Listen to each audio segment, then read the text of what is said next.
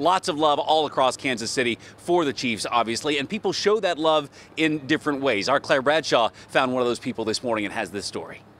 Oh, this is my one of my favorites of Andy Reid. With the stroke of a digital paintbrush, Cynthia Burris catches the Kansas City Chiefs in a new eye.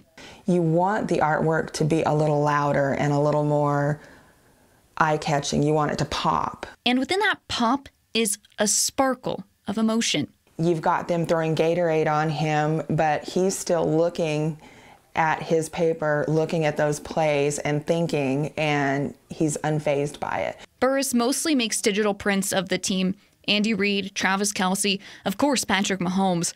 But she doesn't sell these at art fairs. Instead, she donates most of her art to raise money for charities like Make a Wish. If someone can take your artwork and sell it and make money toward their cause, then that's wonderful because it only cost about a dollar to make a print and they could make, you know, 40 to 60 bucks off of one print. Now Burris is taking that sparkle of emotion in her prints and making it shine. One by one, I put these gems down. She's working on a diamond painting of Mahomes in prayer. What you're seeing is one of her prints blown up on a canvas. Look closely teeny tiny squares coated to 50 different colors. I have literally had marathons and done this for a full day because it takes so long to complete one.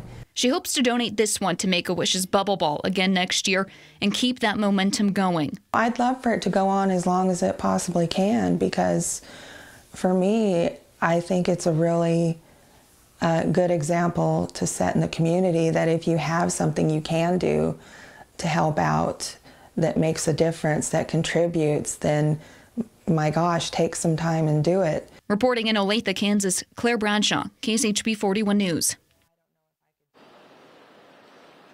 Cynthia sure is talented, and she says that she isn't a season ticket holder because I met her at the uh, preseason game last a couple weeks ago. She says she can't buy season tickets because that's that much less money that she can put into donating her art. Back to you, Taylor.